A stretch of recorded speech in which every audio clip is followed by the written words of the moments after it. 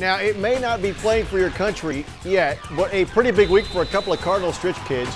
On Sunday, sophomore to be Joey Holyfield received his first Division One college scholarship offer from Tod Kowalczyk and the University of Toledo. This week, he and teammate Jordan Burton will attend a couple of elite camps. First up, University of Detroit Mercy on Thursday, and then next week, they're off to Valpo.